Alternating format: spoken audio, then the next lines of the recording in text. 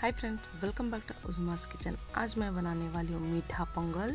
उसके लिए ले लिया मैंने एक कढ़ाई, उसके अंदर डाल दिया एक कटोरी मूंग की दाल। उसको अच्छे से हम लोग भूज लेंगे, एकदम गोल्डन कलर आ जाए हल्का सा। एकदम धीमे आँच पे ही कर लीजिए।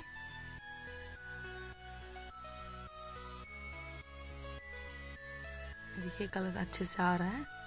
अब ये है कि परफेक्ट कलर है। अभी इसको एक बाउल के अंदर ले, लेंगे। उसके साथ एक कटोरी चावल भी ले लेंगे, उसको अच्छे से धुलने के बाद।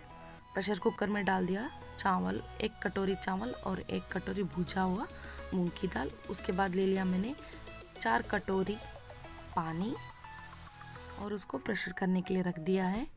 अभी इसको तीन विजिल के लिए रखना है।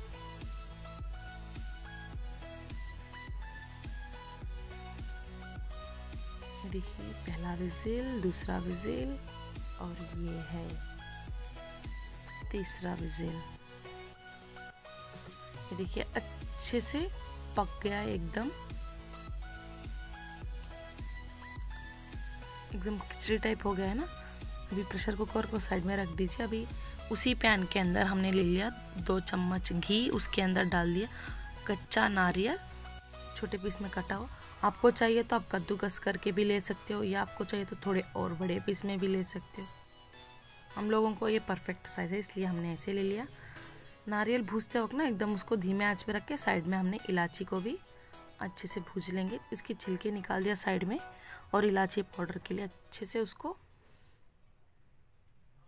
पाउडर कर लिया है। उसके बाद हमने, ये देखिए, नारियल हमारा अच्छे से भूज गया, एकदम गोल्डन कलर आ गया है। अब इसी घी के अंदर हमने डाल दिया जो उबला हुआ पोंगल था, चावल और मूंग की दाल का बैटर और घी के साथ इसको हल्का सा फ्राई करेंगे धीमे आँच पे। पूरा घी अच्छे से मिल जाए तब तक।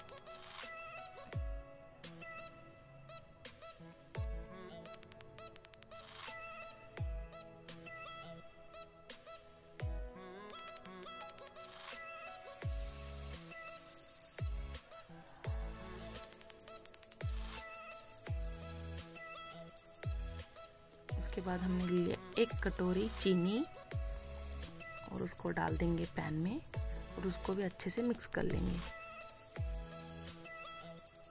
आप लोगों को मीठा ज़्यादा अच्छा लगता है तो आप लोग एक के जगह डेढ़ कटोरी भी ले सकते हो। हम लोगों को ठीक ठीक पसंद है तो एकदम परफेक्ट है एक कटोरी। उसके बाद डाल दिया एक कटोरी दूध और उसको भी हम लोग अच्छे से मिक्स कर लेंगे। और इलायची पाउडर हमने जो पहले करके रख लिया था कूट के उसको भी हमने डाल दिया। अब इन सबको अच्छे से मिक्स कर लिया है। मिक्स करने के बाद हमने इसके अंदर डाल दिया दो चम्मच घी और और उसको अच्छे से पकने देंगे धीमे आँच पे। दो मिनट के लिए उसके बाद हमने डाल दिया नारियल, जो हमने फ्राई कर लिए थे। देखिए परफेक्ट पक गया है। अभी इसको ढक के दो मिनट रख देंगे गैस बंद करने के बाद। उसके बाद गर्मा गर्म सर्व कीजिए। बहुत ही ज़्यादा टेस्टी होता है। आई होप आप सबको वीडियो अच्छा लगा होगा। अगर अच्छा लगा तो लाइक कीजिए शेयर कीजिए and also don't forget to subscribe.